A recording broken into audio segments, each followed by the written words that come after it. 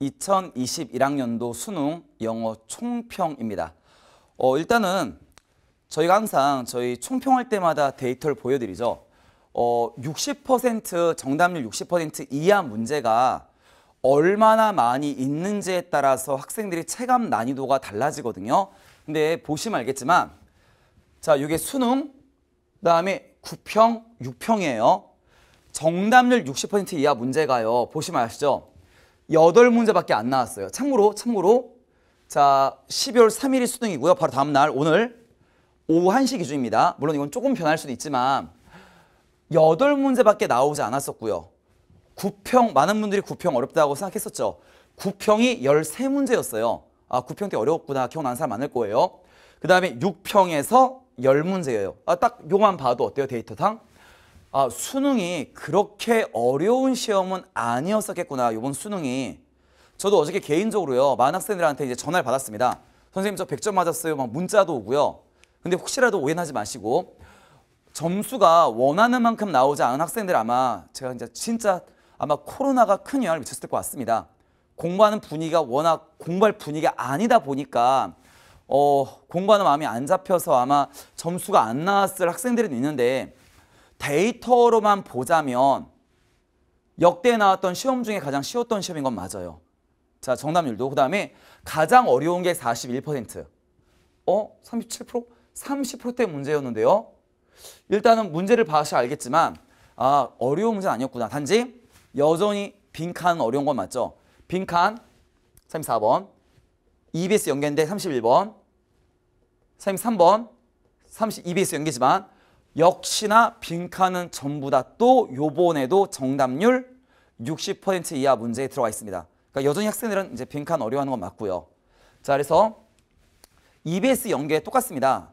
예년과 똑같이 일곱 문제가 직접 연계되었고요. 지문 똑같이 나온 거. 어, 이번에 수능 완성에서 조금 많이 나왔죠. 기억나시겠지만 구평은요 좀 치사하게 영독에서 좀 몰빵으로 냈었는데 이건 수능 완성은 자 수능 완성에서 이제 아, 수능이 좀 많이 연계가 되었다. 자 그 다음에 빈칸을 제외하면 빈칸 빈칸 제외하고 원래 삽입은 원래 어려운 건 맞는데 어, 보통은 학생들이 잘 아, 다시 웬만큼 잘 맞춘 것 같아요. 특히 어법조차도. 자 그래서 데이터로만 보자면 아 많이 어려운 시험은 아니었었다. 자 이제 알 수 있고요. 특징을 좀 말씀드리면 이렇습니다. 전체적인 문장 해석이 어려운 편은 아니었어요.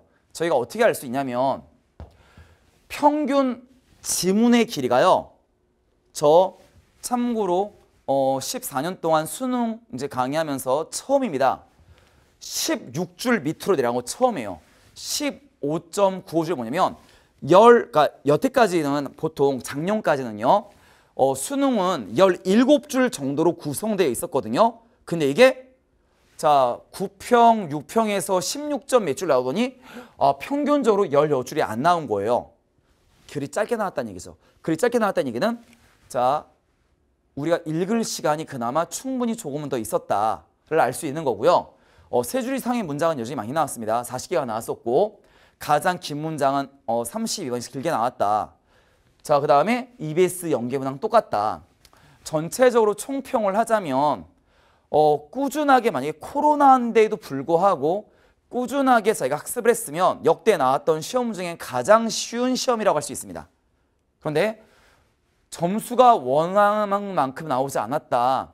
그럼 예상컨대 보나마나 코로나로 인해서 너무 공부할 마음이 안 잡히니까 전체 1등급자 몇 퍼센트가 나올지 저도 모르겠습니다.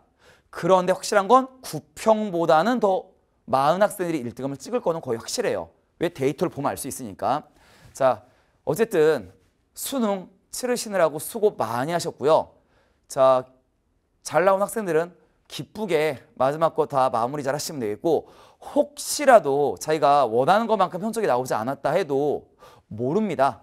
자, 여러 가지 이제 뭐 논술도 있고요. 여러 가지가 있으니까 자, 끝까지 그래도 최선을 다해서 어, 대학 입시 모든 이걸 다 일정 마무리하시고 내년에는 꼭 자, 행복한 꽃길만 걷기를 바랍니다.